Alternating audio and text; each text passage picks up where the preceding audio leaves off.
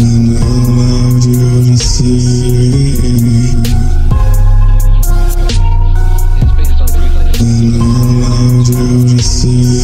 It actually comes from philosophers like Aristotle giving us supposed. Photoshop CGI divisions giving us uh, fake pictures. You. Know, we were just given to our own devices, everybody would be a flat earther. Because that's how it is. It's flat, it's motionless. It's flat, it's motionless. But you'll never look down to the horizon on our Earth. It will always right, right with you. And as you turn around, it'll be 360 degrees.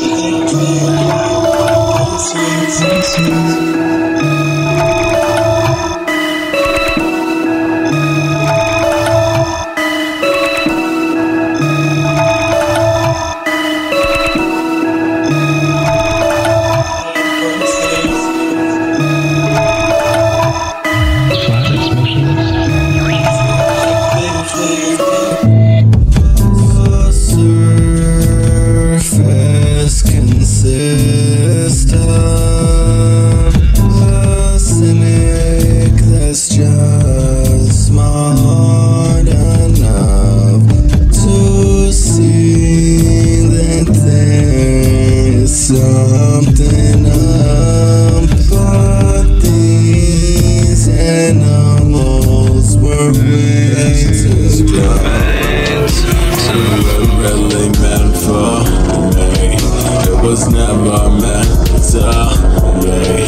It seems it can favor these deliberately well. They'll see what exactly what I mean when I say that they hide these fucking lies that they thread me. Tell me how can I unravel these?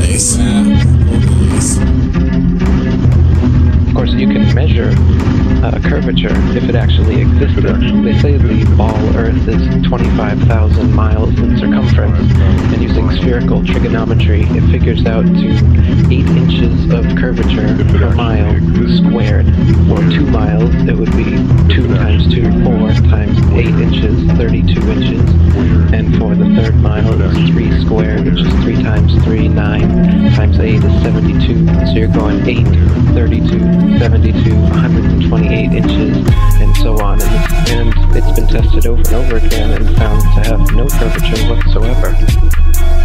If it actually exists. So with the aid of a telescope, ships can be seen on the horizon, and captains declare they can see the fire from an amazing 150 miles away. If the Earth were a globe, however, at that distance, the spire should be an entire mile, 5,280 feet below the horizon.